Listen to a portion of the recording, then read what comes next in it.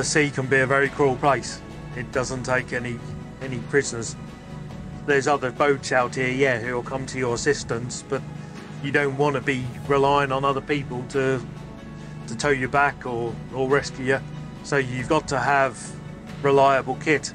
This vessel um, is built and designed for the wind industry, also to be put onto the, the big motherships. They've been purposely designed and they do the job well.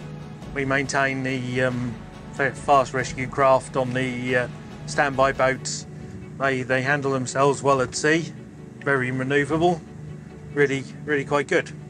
Yeah, I've been on a, um, a long trip up to Newcastle, Yarmouth to Grimsby, and then Grimsby to Newcastle. Sort of round Cromer, we then start cutting away from the land, and it was just just rough, even with the uh, seakeeper rod. Well, we just came off um, a big wave. Yeah, it wasn't pleasant. I wasn't I wasn't on the helm. I was in the passenger seat, and I ended up down there. And the um, one who was skipper who was on the helm, um, he ended up down there. so it was uh, not very nice, but uh, the boat handled itself well. The engines kept on pushing. We then just sort of picked ourselves up and, and carried on. The boat and the and the engines managed it absolutely fine. Petrol petrol outboards are fine as long as you're either close to shore or um, you're close to the mothership.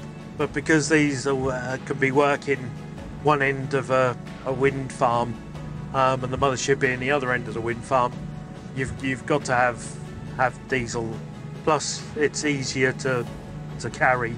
The motherships obviously have diesel tanks, um, and they transfer the diesel from their tanks to uh, to these. So you haven't then got the the risk of of um, large quantities of, of petrol. The fuel consumption, like on on cruising, I base it on 100 litres an hour both engines. Decided to go for for outboards because changing an engine, because all our ships have a spare engine on board. Um, so if worse comes to worse and they have a, a failure, they can then change the the engine on the ship with um, not too many too much difficulty. Where with an inboard, it is a little bit more difficult probably to, to change, especially if they're centre placed in the in the boat, because that means trying to get them out through the, the wheelhouse. And...